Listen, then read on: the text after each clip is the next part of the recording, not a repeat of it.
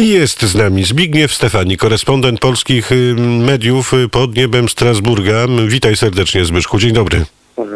Witam Cię Tomku, witam Państwa. No właśnie, przeglądałem dzisiaj, przygotowując się skwapliwie do rozmowy z Tobą i Twojej korespondencji.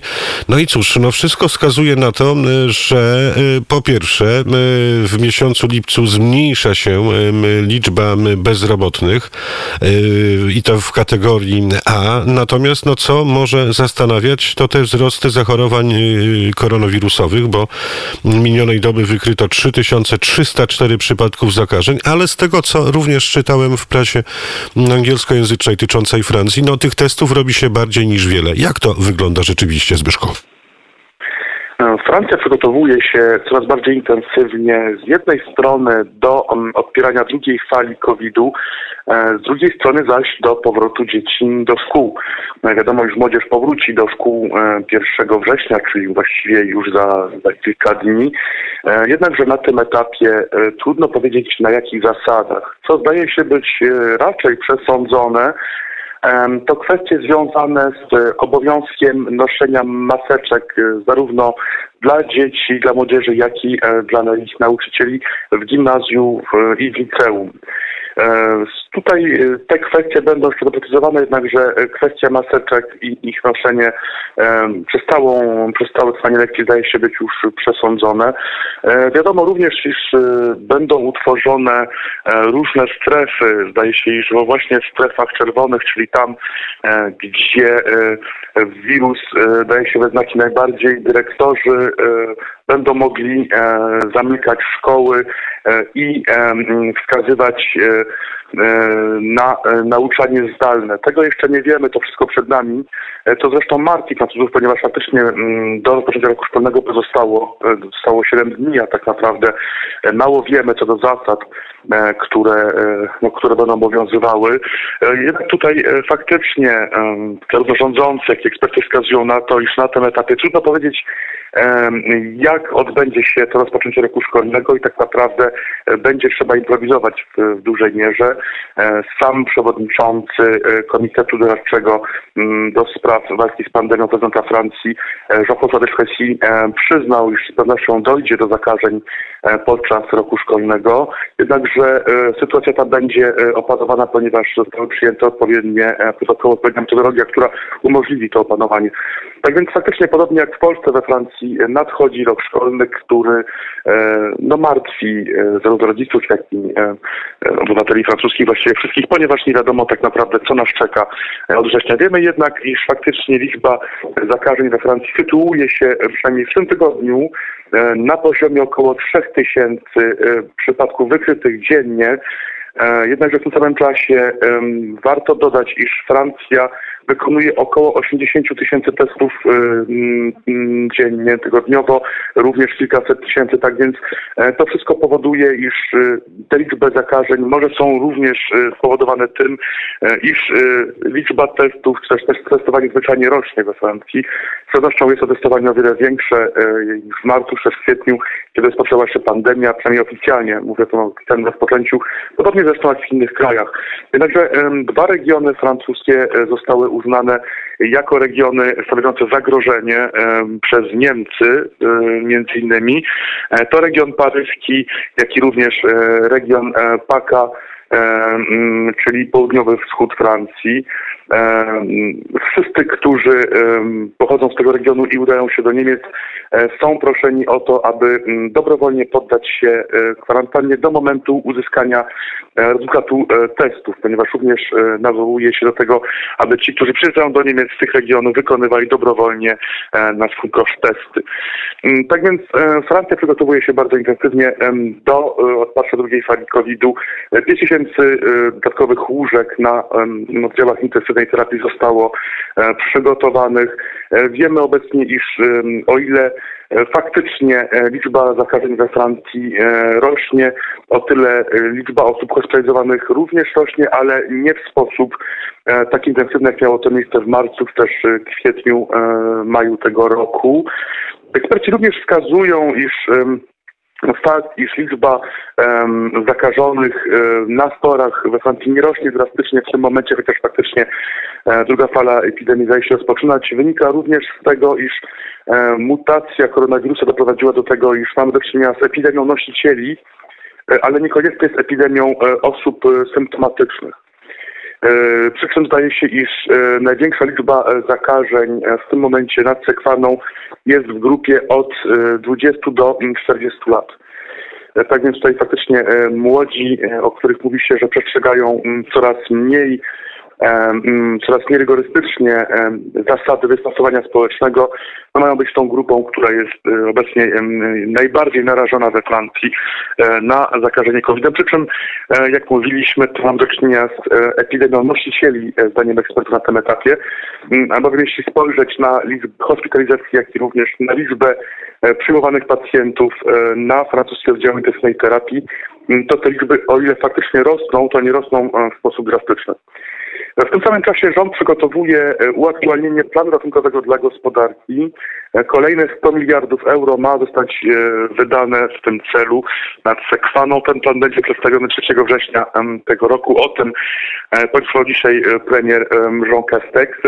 Wiemy już na tym etapie, iż ten plan ratunkowy zakłada około 2 miliardy euro środków finansowych wsparcia dla francuskiej kultury i sztuki dotyczące kultura e, i e, wszystkie e, kwestie się na nią składające znajdują się w trudnej sytuacji, no właśnie ze względu na obostrzenia i trwającą pandemię. Wiemy również, iż plan ratunkowy, czy jego aktualnienie zakłada wzmocnienie sektora związanego z wymiarem sprawiedliwości. Tutaj mówi się o tym, iż może zostać zatrudnionych około 550 pracowników więcej, jak i również wszelkie struktury pomagające w pracy, one również mają zostać zasilone kolejnym personelem Dzisiaj opublikowano dane francuskiego bezrobocia, otóż zdaje się, że faktycznie tego lata bezrobocie nad Sekwaną spadło e, około 6% w odniesieniu do e, odrażenia kwarantanny, czyli e, mówimy o maju tego roku.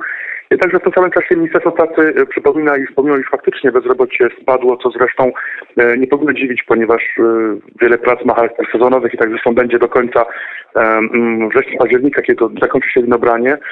O tyle faktycznie nad sekwaną dalej bez pracy jest około 6 milionów osób, tak więc jest to rekordowa liczba bezrobotnych we Francji, największa od właściwie 20-25 lat. Wiadomo również, iż e, Francja e, umożliwi e, dalszą, dalsze kontynuowanie pracy zdalnej. Do tego nawołuje Ministerstwo Zdrowia. Od 1 września będzie na Cekwano obowiązywał obowiązek noszenia maseczek w open space'ach w miejscach pracy. Jedynie osoby posiadające swoje własne biura będą zwolnione z obowiązku pracowania w maseczkach. Jednakże w momencie, kiedy e, będziemy mieli do czynienia z pracownikami znajdującymi się w grupie, będą oni obowiązkowo musieli nosić maseczki, e, przy czym Ministerstwo Pracy podkreśla, iż odmowa e, włożenia maseczki może być powodem dla zwolnienia pracowników.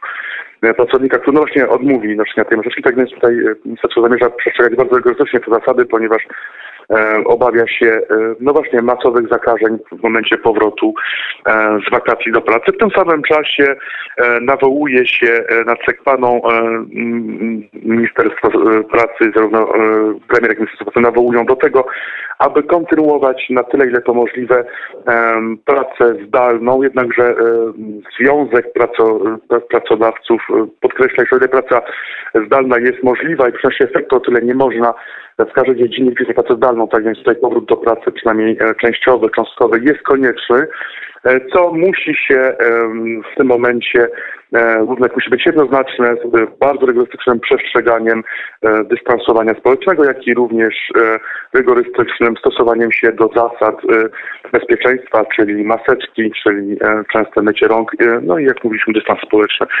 Tak więc Francja w dobie pandemii próbuje powrócić do względnej normalności, E, przy pewnej świadomości, iż e, czeka nas druga fala COVID-u, która z pewnością e, mm, zderzy się tak naprawdę z falą zarażeń grypowych i innych wirusów sezonowych. Tak więc pytanie, czy francuska służba zdrowia, kto, która nie, nie sprawdziła się w pełni, o tym zresztą nawet mówili rządzący podczas pierwszej fali COVID-u, będzie w stanie z jednej strony odpierać drugą falę COVID-u, z drugiej zaś no właśnie, leczyć tych pacjentów, którzy chorują na wirusy synowe, czy też inne choroby niezwiązane z COVID-em. To wszystko przed nami. Na tym etapie e, francuski prezydent wyklucza e, niemal całkowicie e, ogólnokrajowy lockdown, jednakże warto przypomnieć sobie, iż na początku marca tego roku również Emmanuel Macron wykluczał ogólnokrajowy lockdown. 15 dni później sam go ogłaszał. Tak więc z pewnością to sytuacja tak naprawdę, okoliczności, kontekst, uwarunkowania będą miały decydujący wpływ na podejmowane kroki przez rządzących. Co nas czeka e, we wrześniu, w marcu, podobnie, we wrześniu, w październiku, podobnie jak w Polsce, we Francji, w całej Europie, nie wiadomo. Być może um, jesteśmy przed kolejnym e, zamknięciem granic. Wiadomo, że Wielka Brytania już wprowadziła kwarantannę dla wszystkich tych, którzy przybywają z Francji, ponieważ Francja jest ponownie uznawana za jeden, e, jedno z tych państw największego ryzyka w Europie wraz z Hiszpanią e, i Włochami, również Niemcami. Tak więc pytanie, e, jakie e, będą dalsze kroki podejmowane przez państwa europejskie wobec Francji? E, być może dojdzie do mm, jakiegoś częściowego zamknięcia granicy z Hiszpanią, tego nie wiemy. Na tym etapie jednak granice pozostają otwarte. Nie ma tutaj klarownych informacji co do tego, co wydarzy się we wrześniu, no właśnie jeśli chodzi o ruch transeuropejski, jak również co stanie się w kwestii ruchu pomiędzy Unią Europejską a innymi obszarami kuli ziemskiej. E, jednakże rządzący nie wykluczają podjęcia konkretnych kroków, jeśli e, byłoby to konieczne, czyli jeśli miałoby dojść do zarażeń, masowych zakażeń e, na obszarze Europy, to z pewnością ten ruch może być przynajmniej częściowo wstrzymany. Być może wręcz dojdzie do całkowitego zamknięcia granic. Tego nie wiemy, jednak z pewnością należy poczekać na decyzję, jeśli chodzi o kwestie no właśnie mobilności w Europie, a również warto spojrzeć na sytuację gospodarki transgranicznej, podobnie jak w Polsce, we Francji, w Niemczech. Ta gospodarka e, transgraniczna e, żyje tak naprawdę e, no, głównie ze swojego położenia i z możliwości handlu, przemieszczania się tak więc e, kolejny lockdown po granicach e, może doprowadzić do całkowitego upadku e, przedsiębiorczości na pograniczu. Pytanie, czy państwo mogą sobie to pozwolić. To wszystko przed nami, jednakże sytuacja z pewnością będzie uwarunkowana wydarzeniami nie tylko we Francji, ale właściwie w całej Europie, jeśli chodzi o no, rozwój epidemii. Opowiada o tym ze Strasburga korespondent polskich mediów Zbigniew Stefanik. www.wnet.fm ale to nie koniec, bo zanim pożegnamy Zbigniewa Stefanika, no to on przygotował specjalną pieśń. Zbyszku, co to będzie dzisiaj? Proszę, mm, drogi Tomku, szanowni państwo, po raz kolejny chciałem państwu e, zaproponować utwór Majka Branta. Mike Brandt to e, artysta, którego właściwie sam odkryłem na nowo. E, jest to, zdaje się, zapomniany artysta, ale o bardzo ciekawej biografii E, artysta, który tworzył wyjątkowe piosenki, artysta, który miał biografię e, niekiedy wyjątkową. Tak więc polecam e, Państwu, polecam sobie Tomku Majka Branta, jego twórczość, a dzisiejszą piosenkę chciałem zadedykować ważnej, bardzo ważnej dla mnie osobie. Mam nadzieję, że ta osoba wie, jak bardzo jest dla mnie ważna. Dzisiaj ta piosenka dla Państwa również, ale dla tej osoby przede wszystkim. E, wyjątkowa piosenka, wyjątkowego artysty dla wyjątkowej osoby. A mówił wyjątkowy korespondent polskich mediów Zbigniew Stefanik. Do usłyszenia, Zbyszku. Do usłyszenia.